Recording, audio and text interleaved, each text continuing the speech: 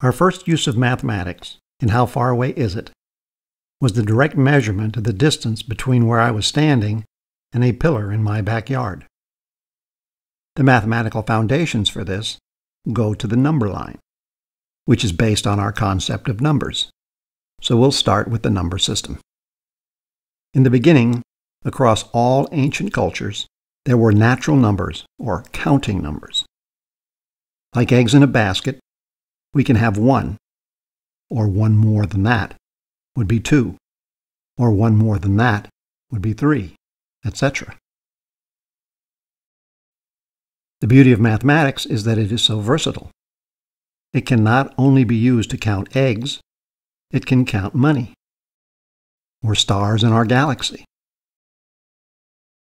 or even galaxies within a range of redshifts to determine whether or not the universe is flat.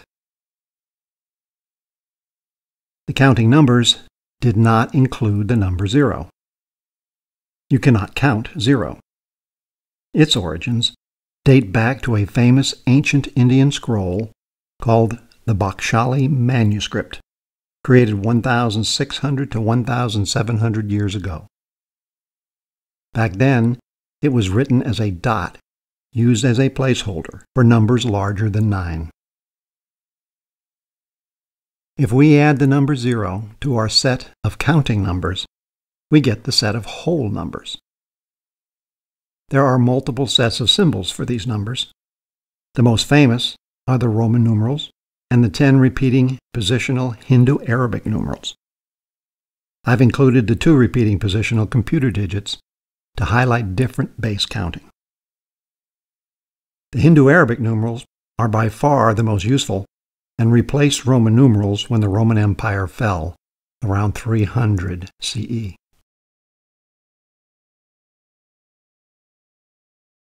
The Hindu-Arabic number system has some interesting properties. Here's one of them. Multiply 9 times any number, say 983,264. Pick one of the digits in the product. We'll pick the number 7. Now add up the remaining digits. If the answer has more than one digit, add them. Repeat the process until you get down to a single digit. Subtract that digit from 9, and you get the number you picked out of the original product. This will work no matter which digit you choose to remove from the product. It's the base 10 system that makes this work. For example, we can write the number ABCDEF as the sum of its positional digits. With this view, we can see that the numbers 2, 5, and 10 divide evenly into each of the terms except possibly the last digit, f. This is why, if the last digit is even, the whole number is even. If the last digit is odd, the whole number is odd. If the last digit is divisible by 5, then the whole number is divisible by 5. And if the last digit is 0, the whole number is divisible by 10.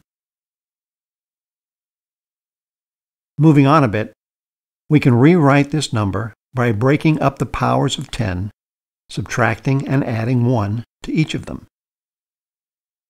Multiplying each digit through the sum and rearranging we get this. Every number in the first bracket is divisible by 9.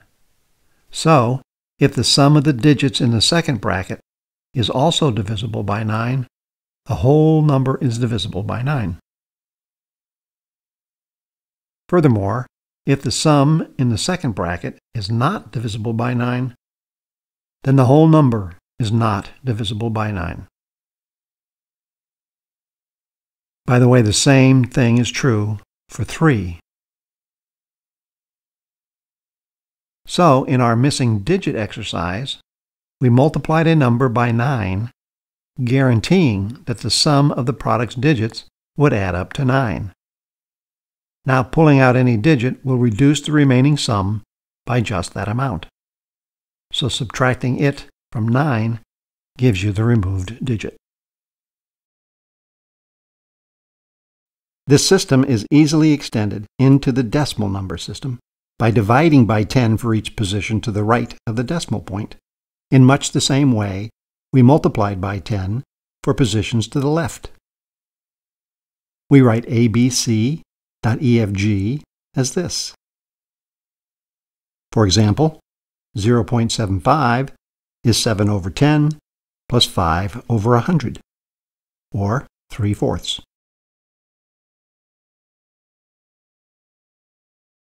If we include negative numbers, along with positive numbers and zero, we get the full set of integers.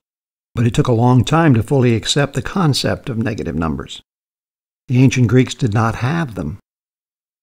The earliest written reference to negative numbers was found in the Chinese book, The Nine Chapters on Mathematical Art, written around 100 BCE. In fact, negative numbers were not fully accepted until the 19th century. After all, you can't have less than zero eggs in the basket.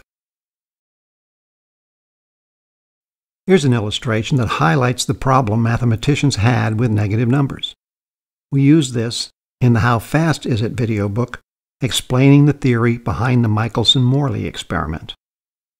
We have a boat in a river traveling upstream with a motor that can propel it at a steady speed in still water. The river is flowing in the opposite direction. The boat's home base is a known distance away. The question is, how long will it take the boat to get home? The solution is pretty straightforward. The time it takes is just the distance it has to travel divided by the speed it is traveling. And that speed would be its velocity minus the velocity of the river. If the distance is 30 kilometers and the boat is running at 20 kilometers per hour and the current working against it is 5 kilometers per hour, we see that the trip home will take two hours. But what if the current is greater than the speed of the boat, say 25 kilometers per hour. Then the equation gives us negative time. Is time running backwards? Absurd. But if we apply the math to the situation we used to develop the equation, we see that a negative time simply means that the poor boat will never make it home the river will simply continue to carry it downstream. The number associated with a point is called its coordinate.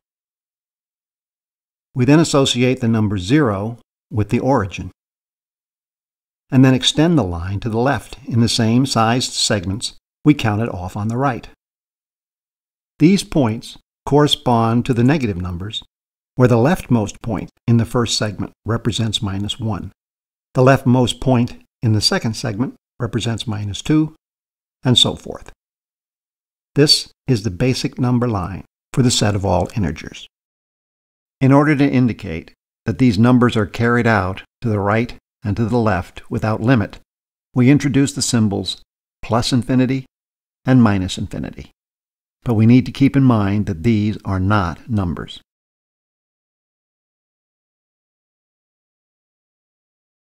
With the set of integers in hand, we can define the four basic arithmetic operations of addition, subtraction, multiplication, and division. We can define addition as an exercise in counting. A plus B means start with the number specified by the first term, A, and count the number specified by the second term, B. In this example, we start with A at 11 and count seven more for B. Zero is the additive identity in that adding zero to any number gives you the same number you started with. Subtraction would then be start with the first term and count backwards the number specified by the second term. Here we are counting 7 times back from 11. Thus addition and subtraction are tied directly to counting and counting has been shown to accurately represent anything you can count. We can also define multiplication in terms of addition, which is based on counting. A times B says add the number A to itself, B times. Here we are starting with 3 and adding it to itself 5 times. Doing it one time leaves it unchanged. Thus the number 1 is the multiplicative identity, like 0 was the additive identity. But what does it mean to add a number to itself zero times? To deal with this, we define a number being added to itself zero times to be the number zero. We define division as the inverse of multiplication. For the division of one number, say a, by another number, say b, we are asking how many times can we subtract b from a. Or more generally, what number, when multiplied by b, gives us a? For example, we would ask how many times can we subtract 3 from 15? And the answer is 5.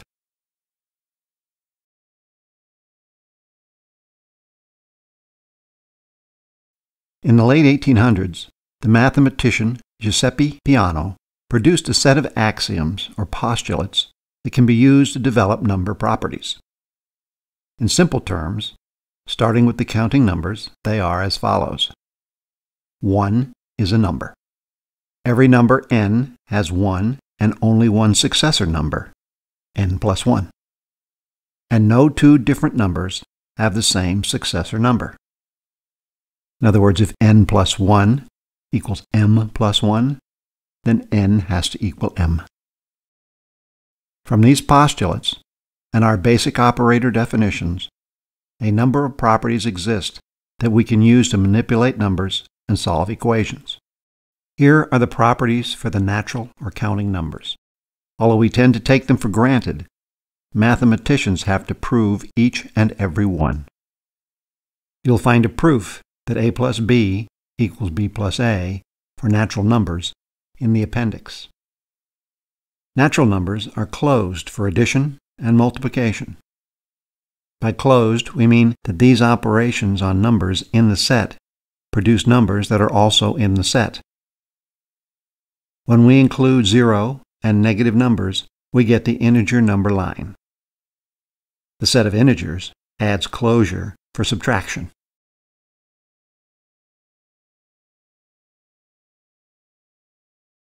The set of integers is not closed with respect to division. 1 divided by 2 is not in the set of integers. To include these and make the set close with respect to division, we need to add all the rational numbers.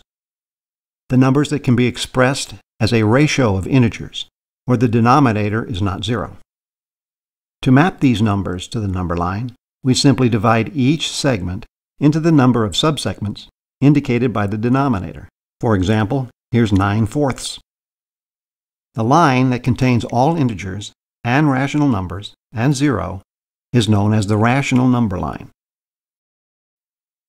It has all the properties of the integer number line and is closed for all the basic operations. It not only contains all rational numbers, it provides for ordering.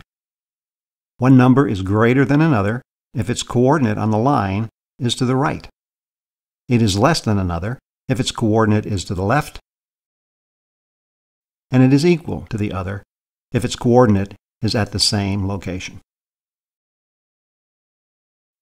With the rational number line in hand, we can now define distance on the line.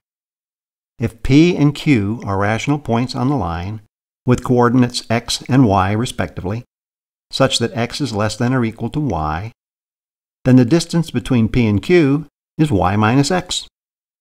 It is straightforward to find the midpoint between any two rational points p and q. We'll call it m, with a coordinate equal to t. The distance to t would be the distance to p plus half the distance between p and q. That would be y minus x divided by 2 we see that the coordinate of the midpoint of two points on the number line is half the sum of the given points. Consequently, there is always a rational point between any two rational points on the line. Because we can divide by 2 without limit, it follows that there are infinitely many rational numbers between any two given rational numbers, no matter how close together they are. We say the rational number line is dense. An important consequence of the set of rational numbers being dense is that the length of any segment can be approximated to any degree of accuracy by a rational number. And there is one more important point to make about this line. If we shift the origin, every coordinate on the line will change. For example, if we shift it to the right two units, the coordinates on the new line will be different from the originals by two units. But there is one thing that does not change when we change the coordinates, and that is the length of any line segment. It is said to be invariant with respect to coordinate transformations.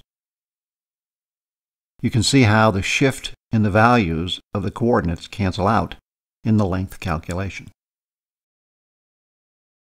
But before we leave the number line, there are two more considerations we need to examine. One, there are missing points on the rational number line. And two, the number zero has some unique and relevant characteristics.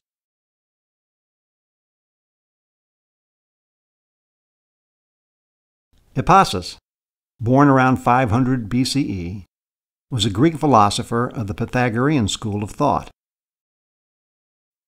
He is widely regarded as the first person to recognize that a square's diagonal cannot be expressed as the ratio of two integers. At this time in Greek society, numbers were intimately connected to their religion, so Hippasus's finding was considered heresy. Two hundred years later, Euclid published his proof. Here's how it goes. First, assume that there is such a rational number, and show a resulting contradiction that negates the assumption. Suppose p over q is a rational number expressed in its lowest terms, meaning they have no common factors except the number 1, such that p over q is equal to the square root of 2. We can square both sides of the equation and multiply both sides by q squared. This shows that p squared is an even number, and therefore p must be an even number, because an odd number times itself would be an odd number. Since p is even, there exists a number t, such that p is equal to 2 times t. If we substitute this in for p and divide both sides by 2, we see that q is also an even number. In other words, both p and q have 2 as a factor. But our stipulation was that they had no factors in common except for the number 1. We have a contradiction. And it shows that the statement the square root of 2 can be expressed as a rational number is false. Therefore, it cannot be expressed as a rational number. In fact, the nth root of any number that isn't a perfect n square is irrational. Add to that the fact that any irrational times a rational will be irrational, and you can see that the set of irrational numbers is infinite. The rational number line is dense but it is not continuous. The union of the set of rational numbers and irrational numbers creates the set of real numbers. But to prove the basic number properties for a number line that includes irrational numbers turned out to be quite the problem. In 1872, Richard Dedekind defined cuts in the rational number line that expose the holes created by irrational numbers. He then proved that the set of these cuts is equivalent to the set of real numbers. This extended the rational number line into the real number line in a manner that preserved all the properties of the rational number line. In addition, it is not only dense, it is continuous. It has no holes the real number line, is the foundation from which all the rest of our math will flow.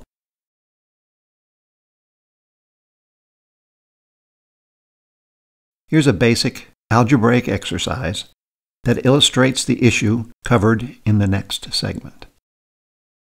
Let a equal 1 and b equal 1. Then a equals b. We can multiply both sides of the equation by a. We can subtract b squared from both sides.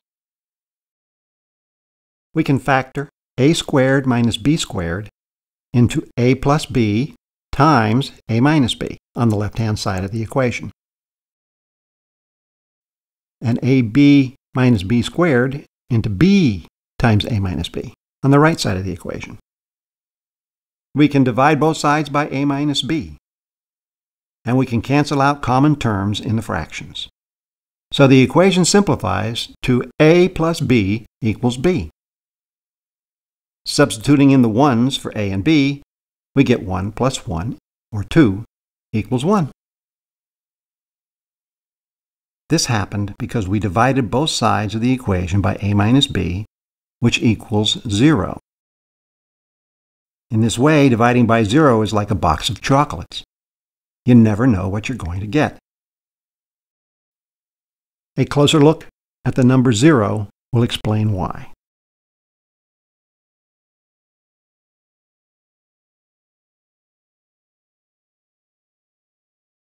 It's important to understand that division has a problem when it comes to the number 0. Suppose a is a number not equal to 0. Then, for a divided by 0, we're asking what number, when multiplied by 0, will give us a. But no matter what number we multiply by 0, you will always get 0, never a. So a over 0 has no meaning we say it is undefined. Now, if a is 0, we're asking what number, when multiplied by 0, would give us 0. The answer is any number at all, because any number multiplied by 0 would give us 0. This makes 0 divided by 0 completely undetermined. It can be any number you can think of. This is what gave us the 1 equals 2 result.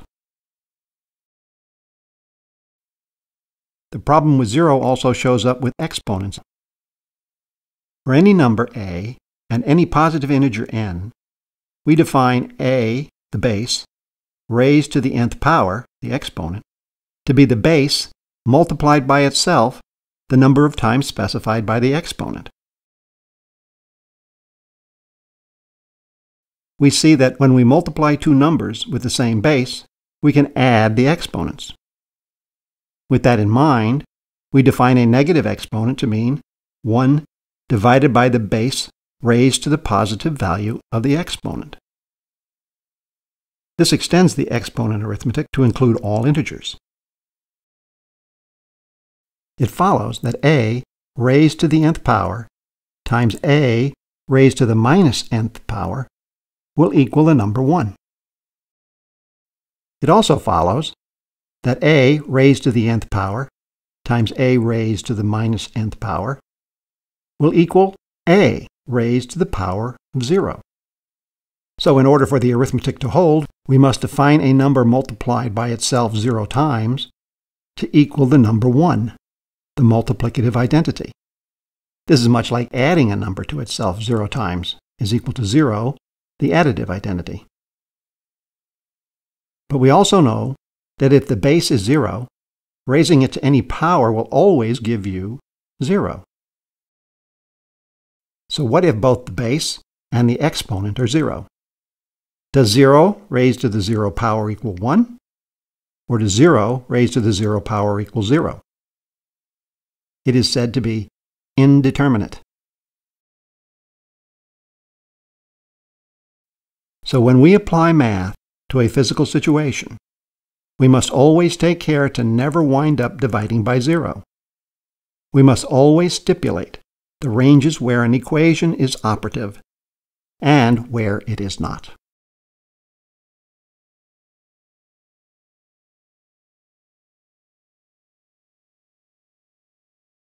We can now take a look at the measurement we started with.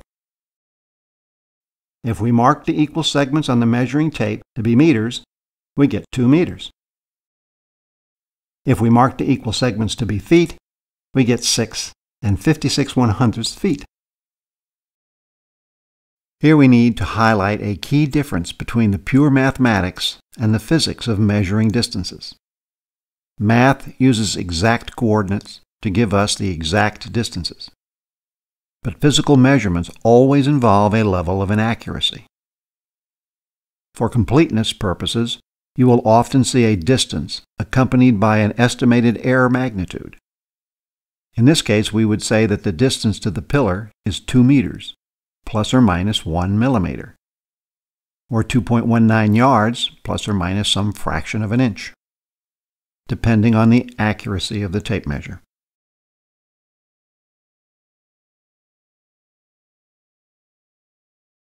Here's a way to do multiplication using doubling, halving, and adding.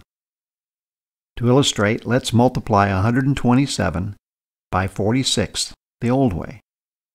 First we multiply by 6, and then by 40. We add the two together for the result.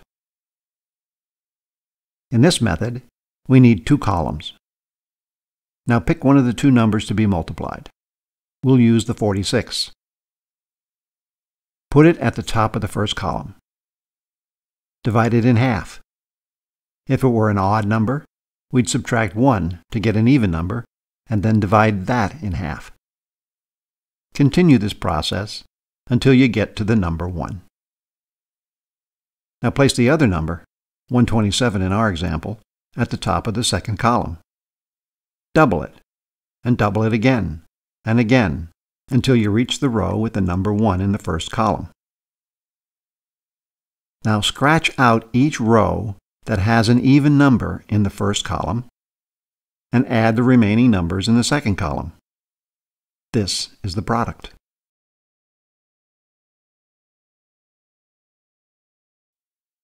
It is quite common in mathematics to use inductive reasoning for proofs of the sort where you're trying to prove something is true for all numbers in an infinite set. Proving the commutativity property for addition, a plus b equals b plus a, for all counting numbers is one of them. All we have to go on are our postulates and one proven theorem. The postulates are 1 is a number, every number n has 1 and only one successor number, n plus 1. No two different numbers have the same successor number. And the associative property of addition. a plus b plus c is equal to a plus b plus c. The commutative property proof has two parts. In the first part, we show that a plus b equals b plus a for any value of a when b equals 1. Our inductive assumption is that for some value of a, the relationship is true. We'll show that that implies that the relationship is then true for a plus 1. We want to show that a plus 1 plus 1 is equal to 1 plus a plus 1. We start with a plus 1 plus 1. We can set it equal to 1 plus a plus 1 by our inductive assumption. And we can change that to 1 plus a plus 1 by the associative property. And we're done. Now we'll show that a plus 1 equals 1 plus a when a equals 1. We start with a plus 1, substitute in 1 for a, and then substitute in a for the other number 1. And we're done. So it is true for a equal 1. And by the first result, we know that it is true for a equals 1 plus 1. That's 2. And then for 2 plus 1. That's 3, etc. For all counting numbers. Now in part 2, our inductive assumption is that a plus b equals b plus a for some value of b. We'll show that this implies that A plus B plus 1 is equal to B plus 1 plus A. So we'll start with A plus B plus 1. We can use the associative property around A and B. We can then use the inductive assumption to get B plus A plus 1. Reuse the associative property to get B plus A plus 1. And then use the results of part 1 that showed A plus 1 was equal to 1 plus A to get B plus 1 plus A. And then use the associative property again to get B plus 1 plus A. And we're done.